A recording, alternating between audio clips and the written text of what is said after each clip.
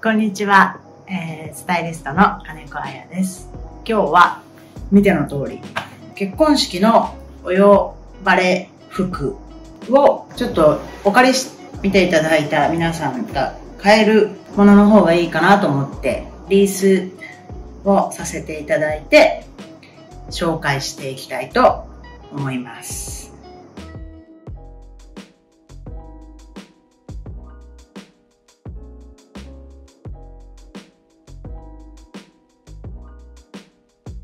一つ目。トップスをメインにした。コーディネート。とパーショルでデコルテがとっても綺麗な。もうこれだけでアクセサリーというか。でパンツ私が着るんだったらパンツ合わせかなと思ってあの手持ちの綺麗めなパンツを合わせたスタイリングです。ストラップシューズの、なので、パンツの裾をストラップに巻き込んで、ちょっとパンツのシルエットを変えて楽しむっていうのも、ストラップパンプスを持ってると、そんなこともパンツのシルエットが変わって楽しめます。すごい。ボリューミーで。かわいい。買いたいな、これ。すごい素敵。なんかふんわりスカートとか、ロングスカートと合わせても、よりゴージャスになって。あ、素敵。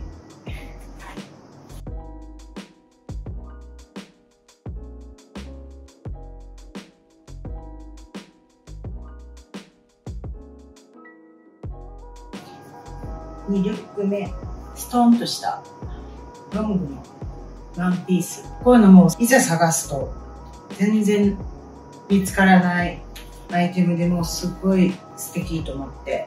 背が低い方はヒール合わせて。でもちょっと私はちょっと引きずるぐらいでこれにはペタンコを合わせるとすごく素敵だなと思って今ペタンコを合わせてるんですけど、そぎ落とされたストンとしたシルエット。後ろがちょっとスッとが入ってる。で、結構、あの、切りっぱなし素材が、の、ちょっとこのグリーンカーキっぽい色味もすごく素敵で、艶のある。で、普段にも着れる B さんとか合わせにもすごいカジュアルダウンしても素敵だし、小物次第でいろんなシーンいけるんじゃないかなと思います。ちょっとだけあのパッドが入ってて。パワーショル気味なのも素敵です。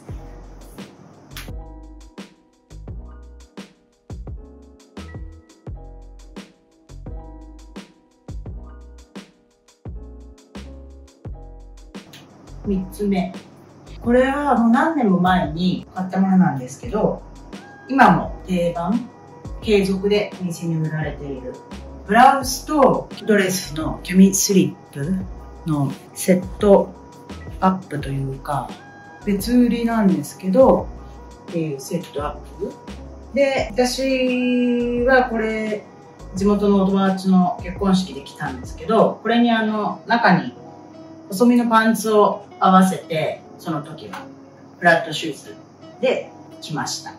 今日はヒールに合わせたんですけどでこれはあのブラウス単品でも着回しができるし T シャツにこのスリップドレスを合わせて着回すこともできるし万能アイテム。この無駄に袖が長いのも素敵です。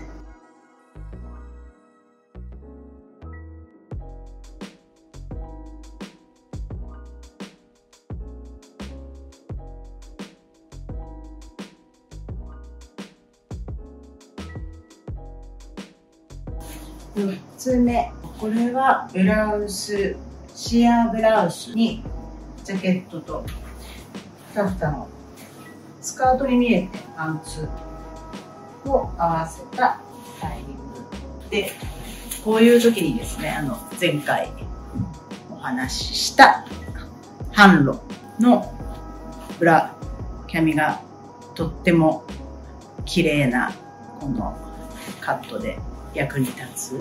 でジャケットはあの手持ちのベロアジャケットを合わせました。このタフタのパンツもそれこそ B さんとか T シャツ合わせとかで普段使いにもいけるのでお呼ばれ服だけじゃなくても使えるアイテムです。素敵。すごい素敵。シアーブラウスも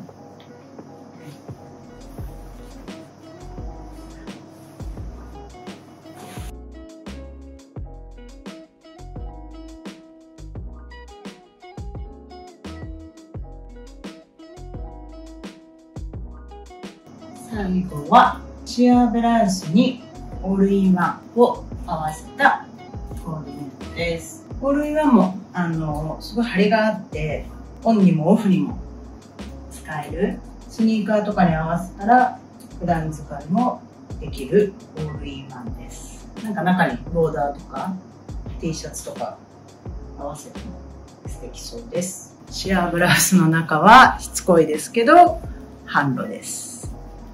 これは後ろであのリボンで調節できるブラウスなので私は首をギュッと詰めてあれしたんですけどデニム合わせとかするときはオフショルとかにもできるブラウスです。かわいいね。あなんか結婚式行きたくなっちゃった。やっぱりドレスアップいいですよね。結婚式でももう全然呼ばれる年じゃなくなっちゃったから。誰か呼んでください。アシスタントが結婚する時かしら。はい。ということで結婚式ドレスアップコーデ。いかがでしたでしょうか？今回はお借りして買えるものを選んでみたのでぜひ参考にしていただければと思います。チャンネル登録とコメントよろしくお願いします。ありがとうございます。